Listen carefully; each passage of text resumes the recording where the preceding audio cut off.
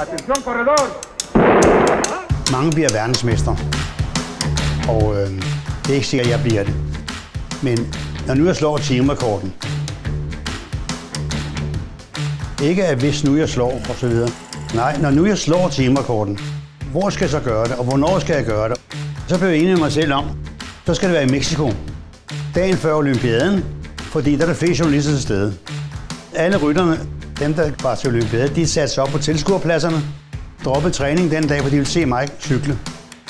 Jeg havde musik i mit hoved. Jeg kan ikke huske, hvad melodi det var. Men måske det var været Frank Sinatra, jeg ved det ikke. Det var en bestemt rytme, jeg ligesom kastede rundt i min, i min hjerne. Jeg tænkte ikke på andet. Jeg tænkte ikke på, nu slår du rekorden, nu går du dit, og nu går du dat. Først da jeg havde slået rekorden og stod en fotograf, så begyndte de at klappe af mig. Og så tog de billeder. Men Ole, hvad, hvad kører du efter? Hvad kører du efter følelsen, eller hvad kører du efter? Kører du bare efter intuition? Simpelthen. Gør det, man kan. Troen. Altså, du kan, hvad du vil, hvis du vil nok.